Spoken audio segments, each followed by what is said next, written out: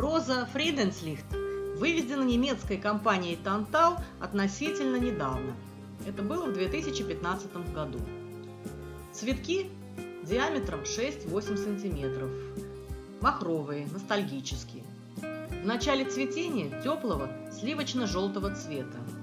Желтый цвет больше выражен в серединке. Позднее светящегося белого цвета. Капризы погоды цветы выносят прекрасно.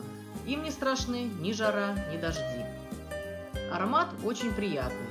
Цветение повторное. Листва высокоустойчивая к мучнистой росе и черной пятнистости.